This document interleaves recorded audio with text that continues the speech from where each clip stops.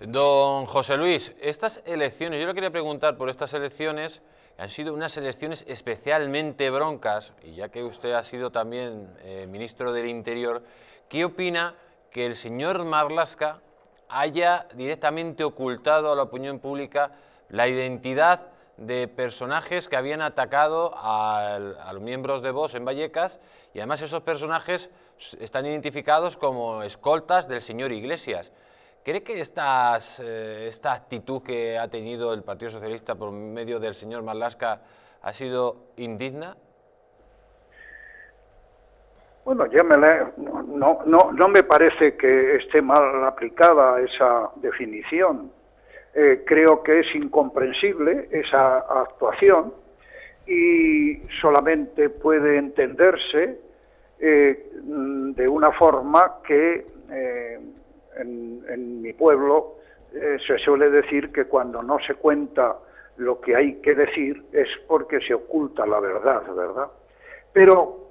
es verdad que esta campaña electoral ha sido una campaña electoral bronca, pero es,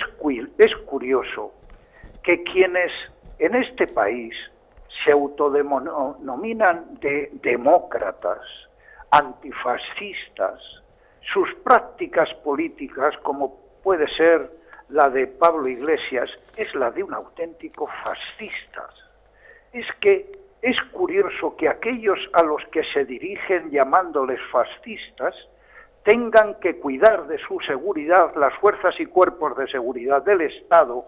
porque los que atacan a esos políticos del arco parlamentario son precisamente estos que de forma subrepticia se autodefinen como antifascistas y no ven que son unos fascistas en tecnicolor. No respetan la libertad, no respetan al contrario, no respetan lo que debe ser la política, que es tener con, contrincantes y no enemigos. Y eso yo creo que se ha puesto de manifiesto de forma eh, clara, poniéndole en el lugar que le corresponde, que es en el último de los partidos